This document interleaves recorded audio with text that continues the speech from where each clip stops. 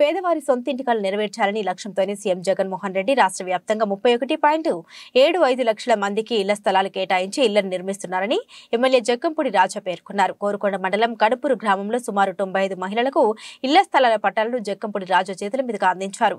ఈ సందర్భంగా జగ్గంపూడి రాజా మాట్లాడుతూ ప్రతి ఒక్కరి జీవిత కాలంలో ఇల్లు కట్టుకోవాలనే ఆశతో జీవనం సాగిస్తారని ఈ ఆశలను నెరవేర్చే దిశగా దివంగత నేత వైఎస్ రాజశేఖర రెడ్డి పేదవారి ఇళ్ళ నిర్మాణానికి శ్రీకారం చుడితే ఆ తర్వాత వచ్చిన ప్రభుత్వాలు పేదవారికి ఇళ్ళ నిర్మాణాన్ని పూర్తిగా నిర్లక్ష్యం చేశాయన్నారు.